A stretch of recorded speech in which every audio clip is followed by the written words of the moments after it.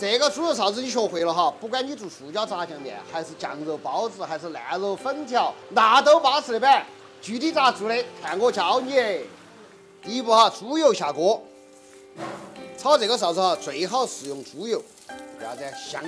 这个油和臊子的比例是啥样子哈？给大家大概讲一下哈。一斤肉臊子加二两油，那么我这二十斤，哈，五比一的比例，四到五斤油。炒臊子哈，我建议选全家肉。好，三七开，百分之三十的肥，百分之七十的瘦。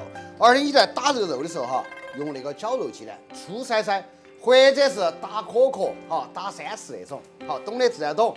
然后又说这个时候下锅，来把哇，二十斤肉，臊子下锅以后哈，我们给它炒散。这一步是啥子？很关键，要把那个水汽给它蒸发了，心烧味，这样子也它也就蒸发了。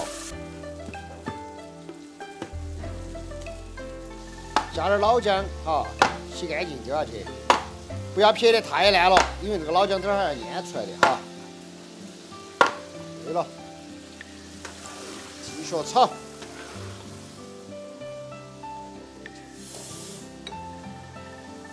好，这个时候哈，微微来点白酒，四川的纯粮食白酒都可以哈。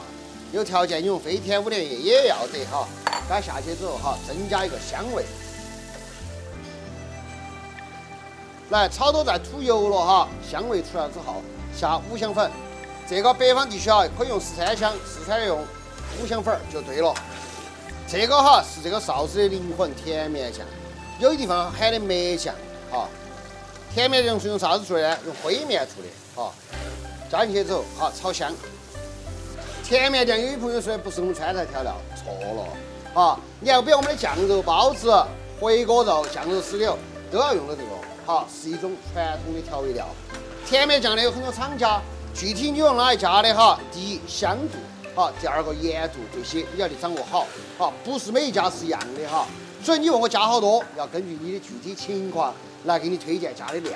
好，反正就是盐度、香度对了就对了。好，这甜面酱下去之后哈，一定要大火炒，好，要把甜面酱的香味好给它炒出来，颜色要和肉啊的融合。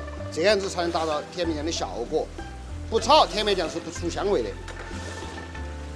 这个哈不能炒得太干，香味颜色出来了之后哈，我们还加另外一样东西，就是这个清水。这个清水下锅哈很关键，为啥子？因为说臊子里面的肥肉的脂香味哈，全靠时间让它慢慢慢慢的出来。红烧肉时间烧得不够，香不香嘛？就这个道理。哈，加清水的目的。就是要让它在锅里面慢慢煨，把脂香味煨出来，臊子才香。臊子开了以后哈，我们要勤搅动，为什么？防止粘锅。这个臊子炒来哈，不是我一个人吃的，这个是炒给厂里面的工人的。想吃点面啊，好蒸点蛋啊，烧点豆腐啊那些。平时说的，我那个臊子看了好安逸哦，安排噻，哈。我觉得做人就这样子，将心比心，好。很多面馆子的师傅哈，就是最讨厌炒这个，为啥子？因为费神呐，哈！你这一两个小时都要这样子轻轻的给它搅动，哈，他有时候才不得扒锅。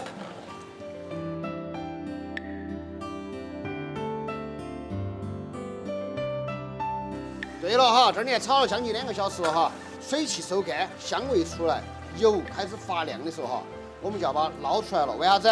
它捞出来之后哈，它还有一个慢慢收干的过程。